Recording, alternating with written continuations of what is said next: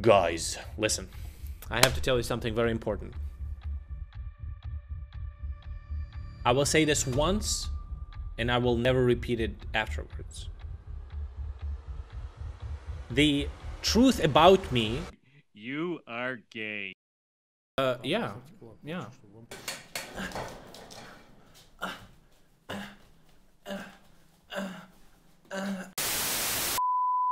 People, I think, you know what I think? I think people are disgusting, stupid fucking losers, okay? And they're just getting, they're just jealous because I'm rich and famous.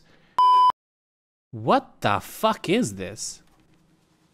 Wait, what the fuck is this?